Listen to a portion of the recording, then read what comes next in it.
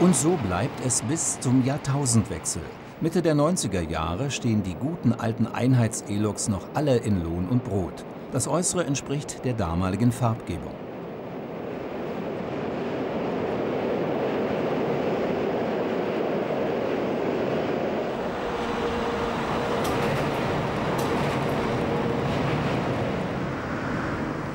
Wie eh und je ist die Hohenzollernbrücke das Nadelöhr.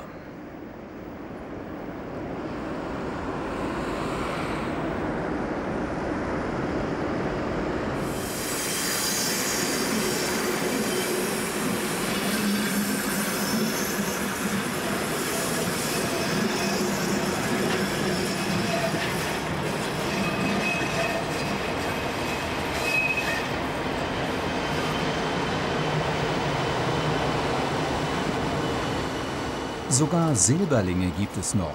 Doch Graffiti-Schmierer verbreiten in dieser Zeit bereits ihr Unwesen.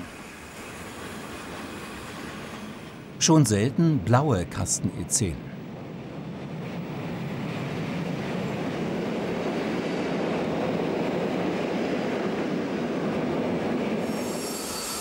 Orientrot mit Latz ist die Farbe Mitte der 90er Jahre.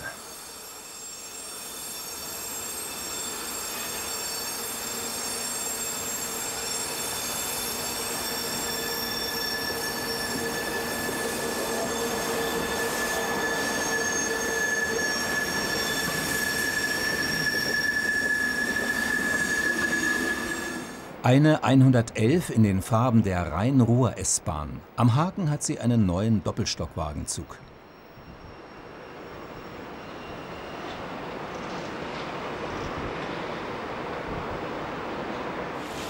Ab 1979 sind 111er mit extra für die Rhein-Ruhr S-Bahn entwickelten X-Wagen unterwegs.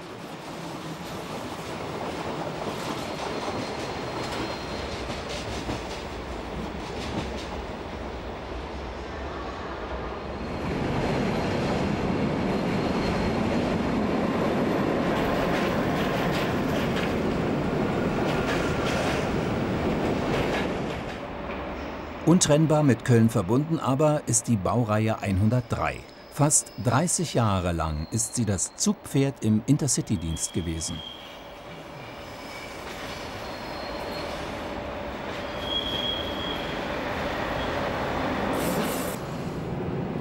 Oft rollen die Züge nur im Schritttempo über die Hohenzollernbrücke. Es ist nicht die Brücke, die hier bremst, sondern die dichte Zugfolge im Hauptbahnhof. Nicht selten sind die Bahnsteiggleise noch besetzt, wenn der nächste Zug bereits im Anrollen ist.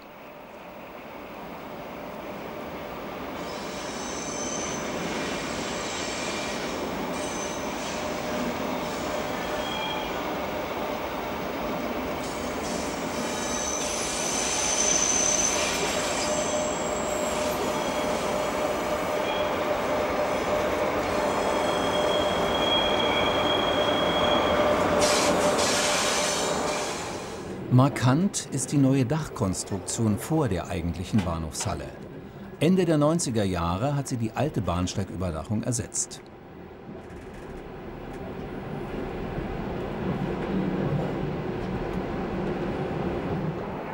Dreierparade im Kölner Hauptbahnhof. Drei Maschinen warten im Abendlicht auf Ausfahrt.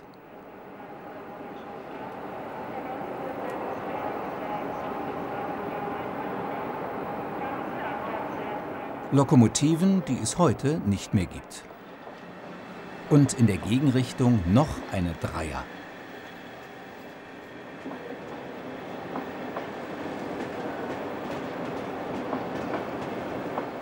»103 117 macht sich als Erste auf den Weg.